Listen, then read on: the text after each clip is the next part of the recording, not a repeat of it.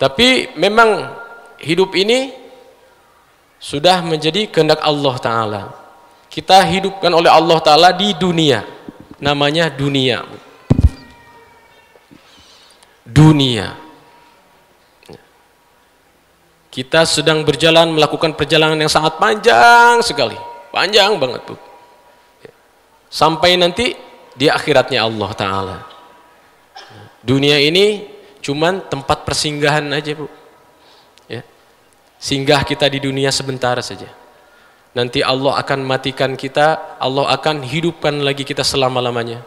Dan Allah akan pertemukan kita nanti suatu saat kelak dengan keluarga-keluarga kita semua yang sudah meninggal.